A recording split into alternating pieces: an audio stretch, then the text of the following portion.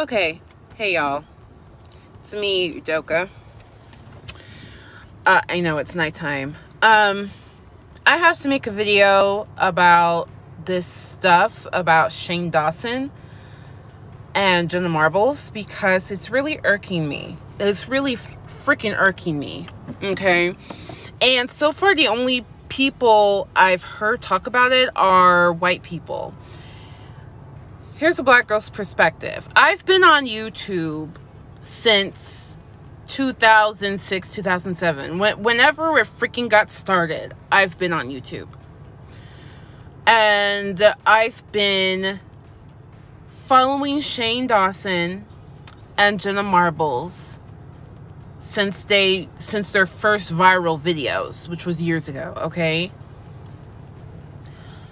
Um back then, well, I'll start with Jenna Marbles. Um everybody is upset that she's leaving the platform. I myself I've been incredibly impressed with her career that I mean that is insanely difficult to maintain years of being relevant on YouTube and being, you know, pra- you know, for all intents and purposes, practically scandal free, I have been thoroughly impressed. Um, so the video that she came out with talking about um, the stuff that she could have said or done that was offensive, I'll tell you, back then, when I watched her videos back then, I was not offended. Um, even with the Nicki Minaj blackface, I didn't see it that way because at that time she was tan. And if you watched her other videos, like, here's how to not look ugly. And, you know, if you watch her parody makeup videos back then, she just had a bad tan like that's that was just her look so i never was offended by any of that stuff and I don't have any gender identity anomalies with myself. So the girls do this boys do this. That stuff didn't didn't offend me. I had no issues with jenna marbles ever.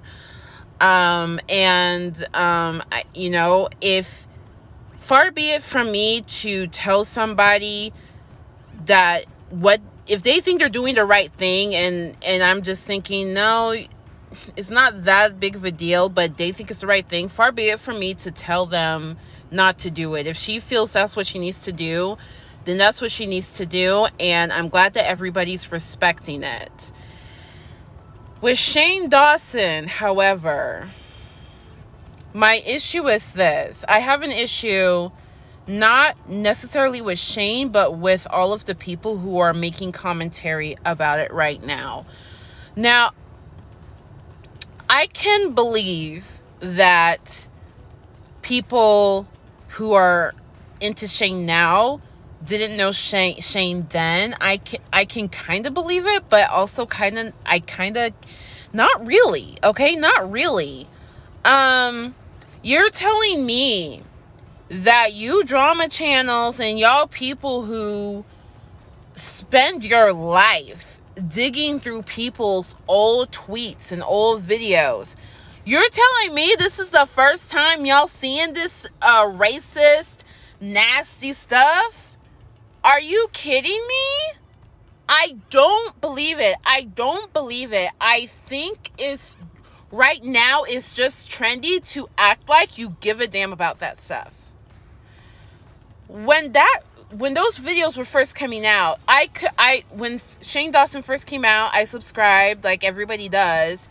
But then he started making that those those weird videos. I unsubscribed. I could not watch this guy and and he would keep showing up on my feed every day. And back then, YouTube did not have a I'm not interested in this content thing. Okay, so I had to just consciously ignore Shane Dawson, Shane TV, consciously ignore him. And it's and it's just recently in recent years that, you know, I, I've been seeing his name again and I'm just like, oh my God, really? But then I see, oh, his content is completely different now. Okay, I'll subscribe now. But back then, Shane Dawson was the guy. He was the YouTube guy um, for everybody who's trying to say, oh, these videos are disgusting, how can you joke about that? How can anybody think that's funny? He would get the most views on YouTube. He was like the most viewed YouTuber.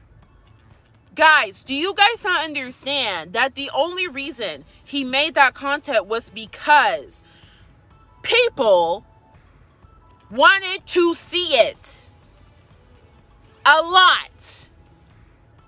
Yes, people wanted to see him in blackface. People wanted to see him make really, really weird jokes, inappropriate jokes with little kids. People wanted to see it. That is the only reason he made that content, y'all. You're telling me if you were a silly white boy that just wanted to make funny videos. And and you do a little shenane and oh you're the most viewed on youtube. You're the you have the most subscribers on youtube. You're telling me you wouldn't make more of that content and think that it's okay? I don't blame i listen. Y'all are acting so outraged. Like you care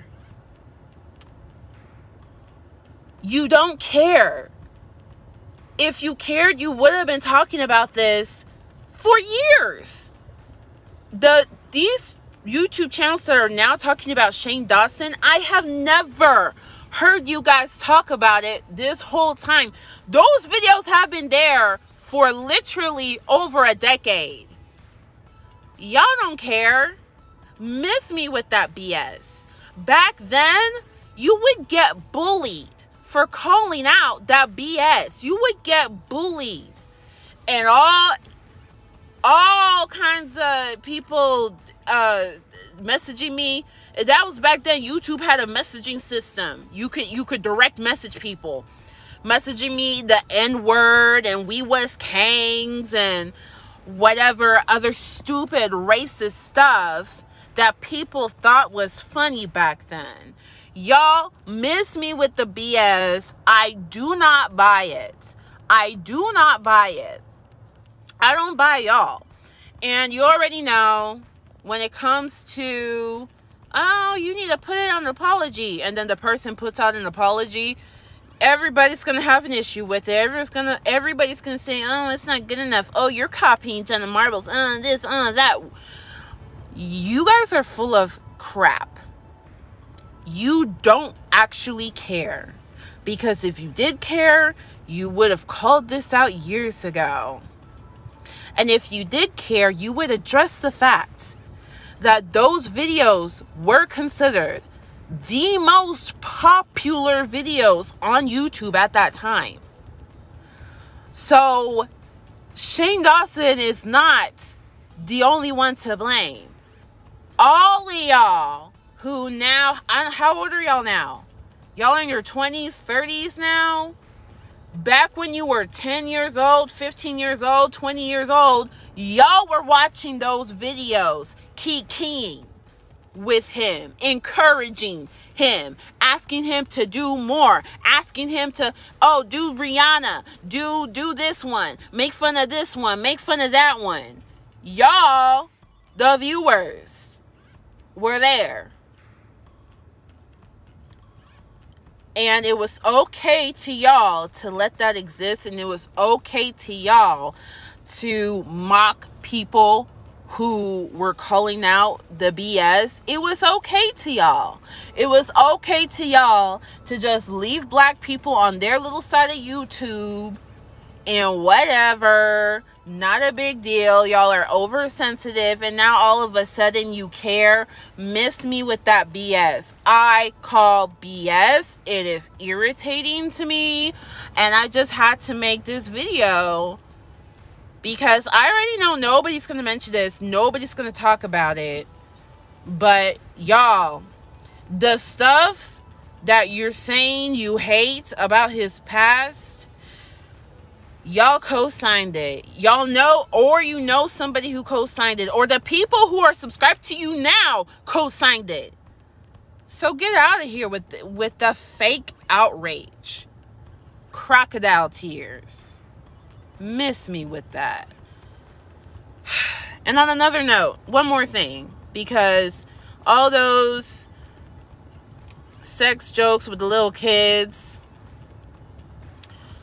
um, y'all who are getting onto him about that birds and the bees talk he had with his little cousin, y'all, if the mother of that child says that it's okay, it was a joke, and I I signed off on it. It was consensual. What your opinion is irrelevant. Do, well, I mean, what are you gonna go and now be upset that oh, there's kids in R-rated movies? What was that one movie that Joe Rogan just put out with them little kids, rate, rated mature? I think I think it's ra- it's rated R mature. Okay, like now all of a sudden y'all gonna pretend like parental uh parental permission in acting skits um isn't okay miss y'all this drama community all of y'all are so full of bs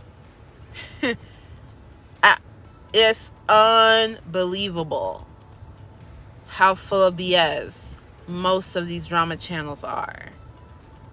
Y'all y'all act like I don't know how to describe it. It's like it's like a weird movie. It's like a Black Mirror episode or something. It's like I think it's a term called virtue signaling virtue signaling where you point out where somebody is not good enough morally, but it's like, well, are you? Excuse you? Are you? Do you even meet the standard that you're trying to hold that person to? Shut up. That's my two cents.